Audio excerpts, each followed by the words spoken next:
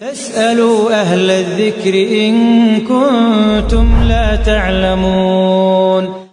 يقول بأن صديقي آه، معنا أخرج زكاة الفطر نقودا وعندما سألته قال هذا أنفع للمحتاج.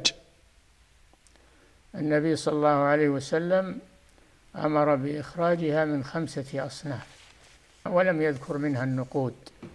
مع أن النقود كانت موجودة في عهد النبي صلى الله عليه وسلم وإنما صاع من بر صاع من شعير صاع من تمر صاع من حقط صاع من زبيب. هذه الأنواع وهي تتنوع بحسب بحسب حالة الناس لأن منهم من يجد نوعا من هذه الأنواع ولا يجد النوع الآخر فيخرج من النوع الذي عنده. هذا من تيسير الله سبحانه وتعالى.